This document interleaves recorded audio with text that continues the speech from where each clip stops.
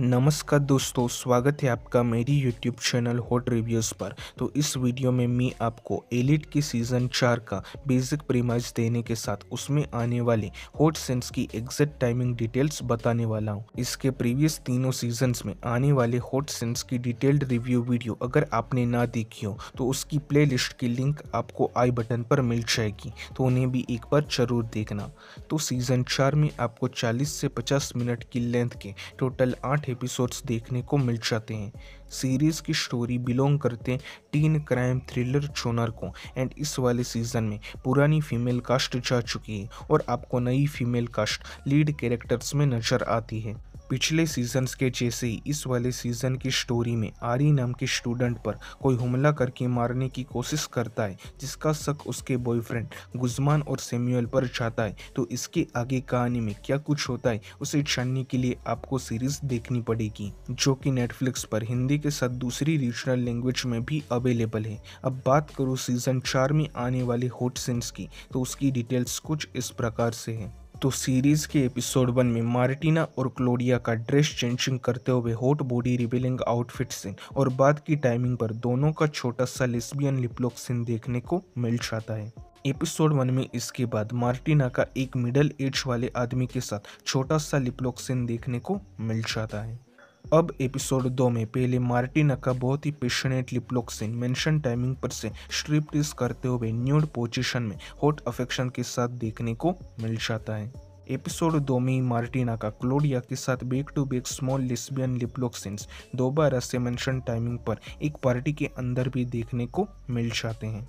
Episode दो में Georgiana का एक छोटा सा पेशनेट लिपलॉक सीन देखने को मिलता है। अब एपिसोड दो में कार्ला डियास का पहले पेशनेट लिपलॉक करते हुए, बाद में स्ट्रिप टीज के साथ न्यूड पोजिशन में ज़बरदस्त हैंकी पेंकी सीन, बाद की टाइमिंग पर दोबारा से न्यूड सीन देखने को मिल जाता है तो इसे मिस करने की गलती मत करना। और एपिसोड दो में जॉर्जियाना का पैशनेट लिपलॉक करने के साथ ज़बरदस्त बेडरूम, हैंकी पेंकी सीन देखने को मिल जाता है।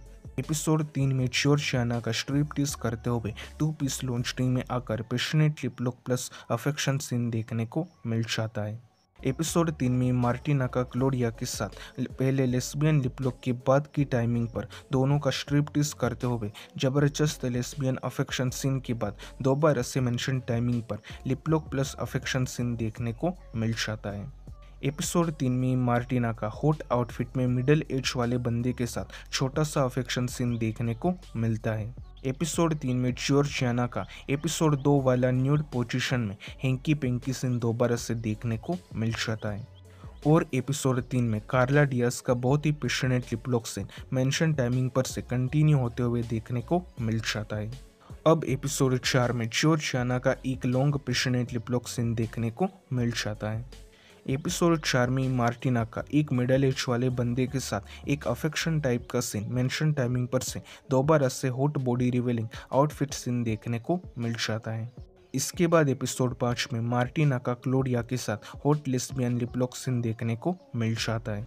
एपिसोड पाँच में मार्टिना और क्लोडिया दोनों का स्ट्रिप टीज करते हुए न्यूड पोजिशन में लेस्बियन लिपलॉक के साथ ज़बरदस्त लेस्बियन अफेक्शन सीन देखने को मिल जाता है। तो इसे मिस करने की गलती मत करना। अब एपिसोड 6 में कार्ला डियस का बहुत ही passionate long steamy lip lock के साथ अफेक्शन सीन देखने को मिल जाता है। दोबारा से एपिसोड 6 में कार्ला डियस का long passionate hot steamy lip lock scene के साथ अफेक्शन सीन दोबारा से देखने को मिल जाता है।